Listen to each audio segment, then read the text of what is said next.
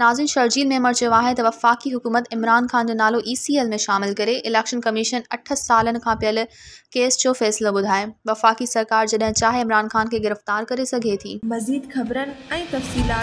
visit कयो असांजी website www.awaminews.hd.com ऐं ॾिसंदा एच डी